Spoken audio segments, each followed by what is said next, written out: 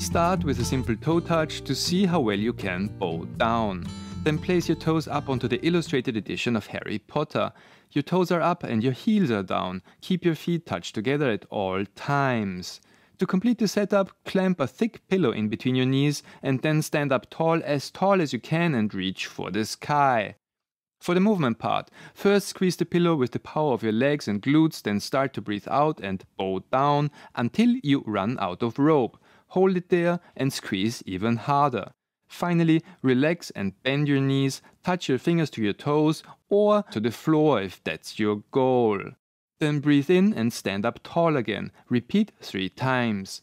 Step forwards on your book. Now your heels are up, your toes are down. Repeat the routine three more times. Finally, without Harry Potter and without the pillow, test the simple toe touch again. Allow your pelvis to drive backwards while you lower your hands to touch the floor. Thank you for watching, please remember to like and subscribe and see you in the next video.